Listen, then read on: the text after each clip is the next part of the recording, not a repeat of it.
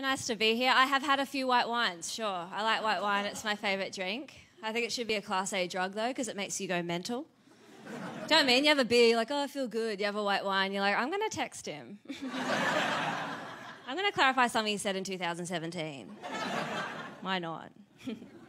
yes, my parents are divorced. Um, obviously.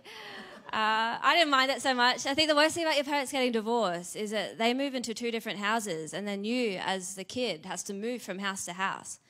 And I remember being little thinking, why can't I stay here and you guys move to me? And I'm like, why am I five years old learning how to roll my socks to fit more room in the suitcase because dad kissed a woman at a party? then I get there, he's like, oh, you forgot your toothbrush. I'm like, duh, you forgot your wedding vows.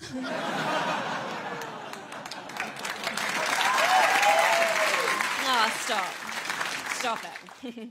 My mum called me the other day, actually. She said, Oh, I think, I think you've got this thyroid disease. A lot of the women in our family have got it. You've got all the symptoms. You've got weight fluctuation. Uh, you've got skin prone to breakouts, and you're quite irritable and, and rude. and I was like, Well, I hope I've got it. Otherwise, this has just been quite a mean phone call. so, it's fine. Bit of a mug off. It happens a bit like I, my friends and I, we have this thing, we call it the abomination theory. It's this theory that we've figured out that in this world there's you, and then there's people who look like you but better. And then, there's people who look like you but a bit worse, and we call them your abomination. And what we do is every time we see each other's abomination is we'll give each other a call. And uh, I got a call the other day from my friend. He said, I just saw your abomination, worst one yet. So she was real sweaty. She was carrying two plastic bags full of chicken, just kind of running along the street. and I said, What? Was that like an hour ago?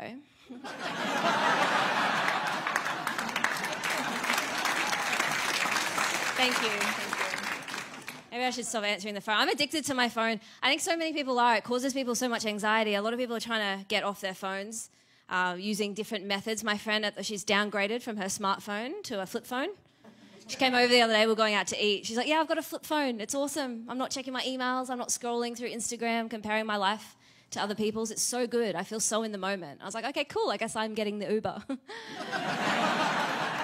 it really just sort of outsourced your anxiety to me there, haven't you?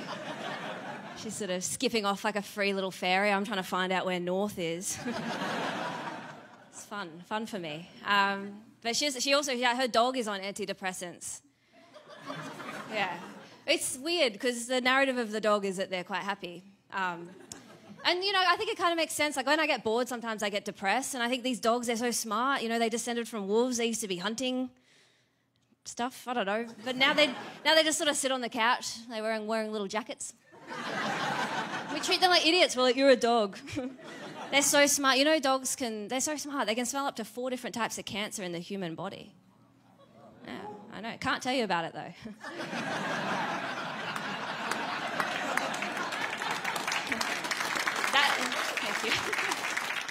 I mean, maybe that's why they're so depressed. They're just sitting there with the weight of the world on their shoulders. and again, we treat them like idiots. We're like, oi, don't piss on the rug. It's like, bitch, you've got cancer. oof, oof, stage four.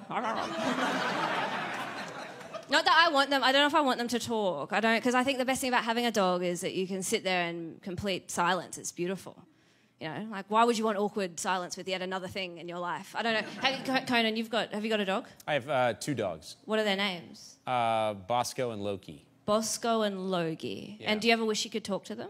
Yeah, it'd be fun to know what they're up to. Yeah. I guess. I disagree. I think because I mean, what if Bosco and Loki could talk, but you guys don't click? What if you knew Bosco and Loki could talk to you and they yeah. won't? and they just they don't they're not we don't yeah. click at all. Yeah. yeah. And you're trying to get it going. you know, you're on you're on the couch. You're like, hey, boss, Bosco, did you um did you like that walk before? He's like, yeah, you asked us earlier. and you're like, okay, yeah, whatever. Look, I gotta go. I've I've got a doctor's appointment. He's like, good luck. That is my time. Thank you. Thank you